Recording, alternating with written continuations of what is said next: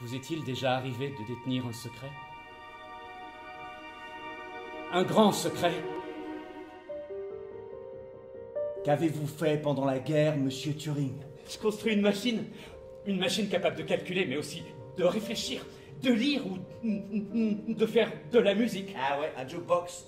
Je te présente Enigma. Ce fou d'Hitler est en train de nous précipiter vers une seconde guerre mondiale, Turing.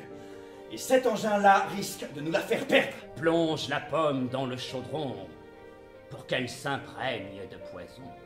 Qu'est-ce qui tombe pas rond là-haut, hein? Qu'est-ce qui tombe pas rond Je sais pas.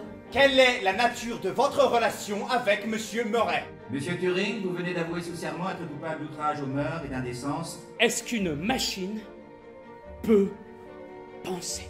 Nous n'avons plus de temps. Ça fait presque deux ans que tu cherches on ne sait pas bien quoi, seul dans ton coin. Pourquoi refuser à une machine son droit à l'intelligence, même artificielle? Tu es viré. Non, non, non, non. La plaisanterie est terminée. Non. Échec et vos feux.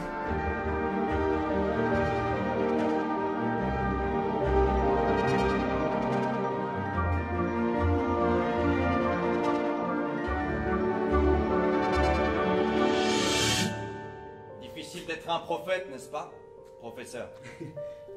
Les idées nouvelles effraient la plupart des gens.